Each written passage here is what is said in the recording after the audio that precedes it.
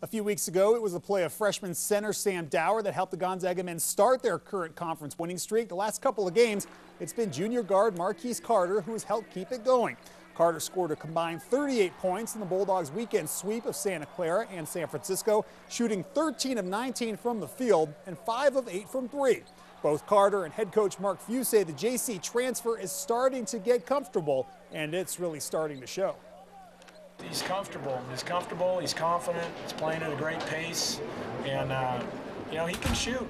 Now he's finding his shots, and, and we're finding him a little bit, and uh, couldn't have been at a better time. Just more confidence. I'm just out there playing. I'm really loose.